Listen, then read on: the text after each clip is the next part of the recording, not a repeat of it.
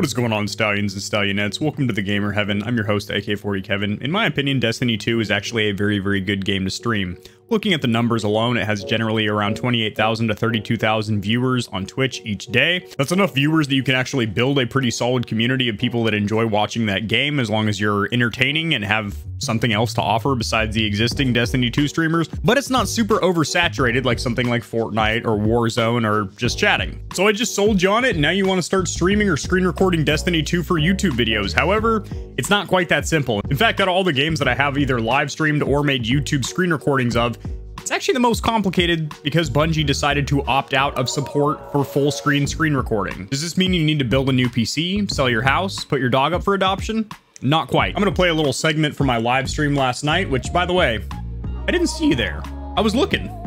Front row of the bleachers, didn't see you there. I'm gonna go over some settings inside of Streamlabs OBS. These will be virtually identical to OBS as Streamlabs OBS is literally just open broadcaster uh, software with another layer of plugins and add-ons over it. And these will also apply to XSplit Broadcaster, Twitch Studio, or any other kind of screen recording slash live streaming platform. Let's get this thing.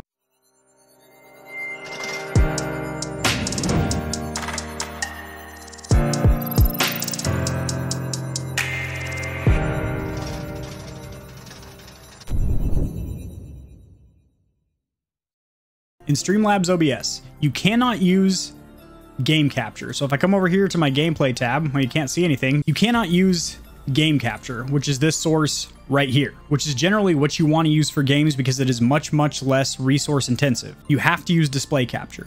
Now, granted, if you have a mid-range to higher end PC, it won't be an issue, but there are some settings that you need to change. Now on display capture here, if we double click, you can leave it on automatic, or if you're running Windows 10, you can select this. However, um, Streamlabs OBS is a smart enough program to differentiate what operating system you're running, and it will automatically select Windows 10 if that's what you have, and then select your primary monitor.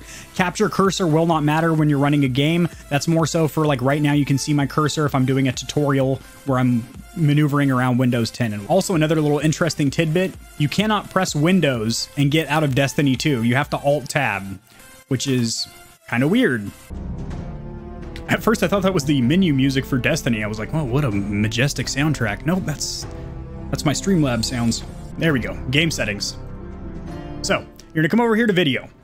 Obviously, you want to have your native resolution and native refresh rate selected. Now, one of the things that you can do if you are getting dropped frames inside of Streamlabs OBS is set a manual frame rate cap. Now, I do have uh, FreeSync, so if you have G-Sync, FreeSync, or V-Sync, which seem to work pretty well in Destiny, they do not work well in Warzone, Call of Duty Cold War, or Modern Warfare. You need to set a manual frame rate cap of, you know, 144, 165, whatever your monitor's native refresh rate is.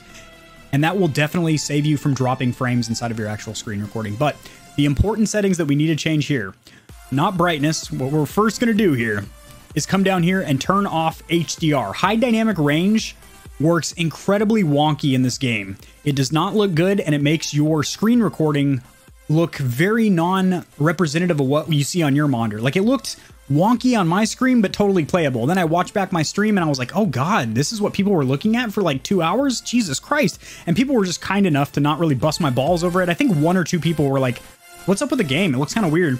And you know, I was looking up, I didn't see any drop frames or anything in Streamlabs, so I'm like, it's fine. You're just being a, you know, a, a, a little ninny nanny. But Indeed, you want to turn HDR off because it makes your screen look like it has a sunburn. Everything looks a little bit off hue. All the colors don't look very rich, vibrant, or natural.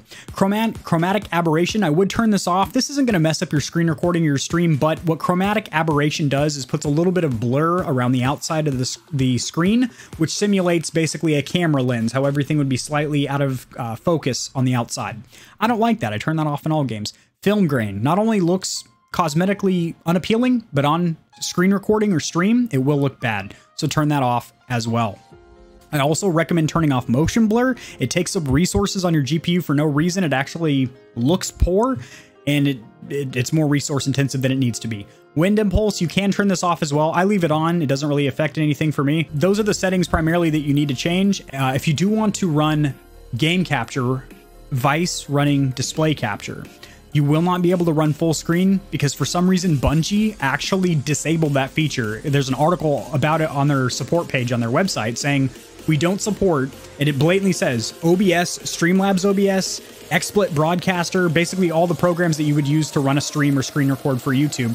So what you can do is put this into a borderless window or windowed full screen, but that has a bunch of restrictions to it. First of all, you can't really look up in the game because it'll go up to your second monitor. Not to mention, it's basically running other programs in the background. It's not engaging Windows 10's natural game mode, which basically minimizes all processes in the background, optimizes your RAM to focus on the game. Uh, when you're not running full screen, it's running a bunch of stuff in the background. So that is not ideal. I would recommend just using display capture. And again, um, if you have a mid to high end PC, it's not going to be terribly detrimental to your PC. If you are losing frames, what I would recommend is tapering back on some of your settings here or going inside of your Streamlabs OBS. And if you're screen recording, uh, setting your CQP rate down a little bit, or if you are uh, streaming, maybe try 720p Vice 1080p. So that is how you're going to make Destiny 2 look decent while you're playing. All right, I'm going to hit up the boys in Discord and we're going to hop into a game because I'm ready to get to snap aiming here, Stallions.